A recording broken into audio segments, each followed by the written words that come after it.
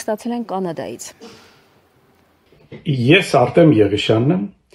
փոքր մոդուլյար ռեակտորների տեղակայման պրոյեկտում ավակ ինժեներ։ Երկիր Կանադա։ Պարոն Փաշինյան, այսօրվա աշխարհակաղակական իրավիճակում էներգետիկ անվտանգությունը ել առավել արդիական է դարձել բազմաթիվ երկրների համար, այնպես ինչպես Հայաստանի Հանրապետության համար։ Որքան ես գիտեմ, Հայաստանի Հանրապետությունը հետաքրքրված է Հայաստանում տեղակայել փոքր մոդուլար ռեակտորներ դիվերսիֆիկացնելու երկրի էներգետիկ հզորությունները։ Պահպանելով գաղտնիության թույլատրելի սահմանները,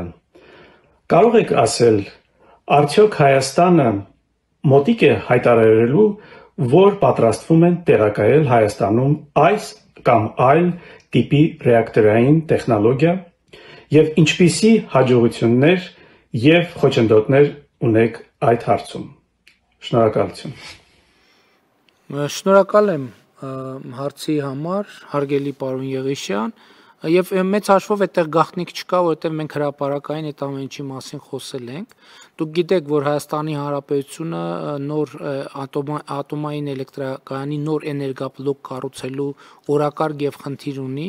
եւ մենք ինչ ենք անում։ Մենք այսօր բանակցում ենք եւ Ռուսաստանի մեր գործընկերների հետ, եւ Միացյալ Նահանգների մեր գործընկերների հետ, եւ Կորեայի մեր գործընկերների հետ եւ փորձում ենք հասկանալ, թե ինչ առաջարկ կա, որը մեզ առավել ձեռնտու կլինի, թե կոմերցիոն առումով, թե արդյունավետության առումով, եւ իհարկե մենք հետաքրքրված ենք նաեւ մոդուլյար ռեակտորների նոր իհայտ եկող կամ նոր իրագործվող տեխնոլոգիաներով, որովհետև ես ինչքան գիտեմ, այս պայդրությամբ ոչ մի աշխարհում ոչ մի գործող մոդուլյար ռեակտոր չկա, կան ռեակտորներ, որոնք շինարարության փուլում են եւ որոնք առաջիկա տարիներին կսկսեն արդեն աշխատել։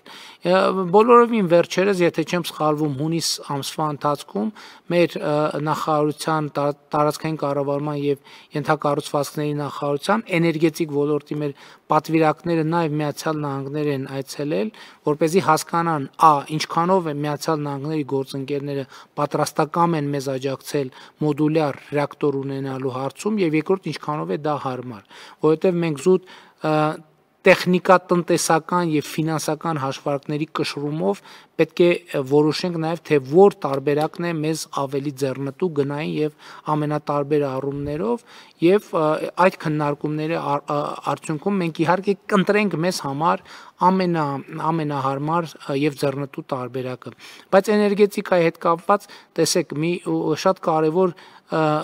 միտում էլ կա աշխարհում հիմա աշխարհում սկսել են արագ տեմպերով կառուցվել մարտկոցային էլեկտրակայանները դրանք ինչ են երբ որ հիմնականում արևային բայց ցանկացած էներգիա կուտակում են այսինքն կոպիտ ասած ակումուլյատոր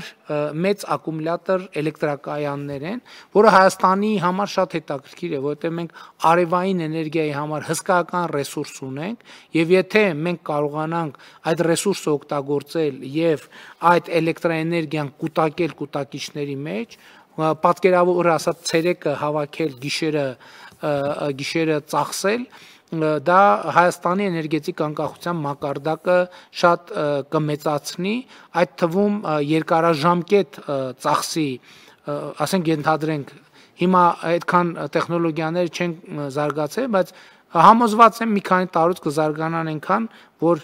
հնարավոր լինի կամ եթե ոչ մի քանի տարուց տասնամյակի ընթացքում կզարգանան այնքան, որ ամառը հնարավոր լինի այդ էներգիան կուտակել, այսինքն այդ լիցքավորման կայանները լիցքավորել, ձմեռը օգտագործել։ Հաջորդ տեխնոլոգիան, որ շատ արագ զարգանում է, կանաչ ջրածնի տեխնոլոգիան է, որը ինքը օգտագործվում է եւ որպես ավտոմեքենաների վառելիք եւ նաեւ էլեկտրական կայանների աշխատելու համար գազի հետ զուգահեռ կամ նրան փոխարինող մենք հետաքրքրված ենք այս բոլոր տեխնոլոգիաներով աշխատում ենք դանդաղ ենք աշխատում պիտի ուղի խոստովանեմ ամենատարբեր օբյեկտիվ եւ սուբյեկտիվ պատճառներով, բայց ես նաեւ հանձնարարական եմ տվել, որ այս ուղություններով մեր աշխատանքը փորձենք ակտիվացնել եւ տեսնել, թե մեր որ գործընկերներից ով ինչ առաջարկ մեզ կարող է տալ եւ ում առաջարկը մեզ համար կլինի առավել ձեռնտու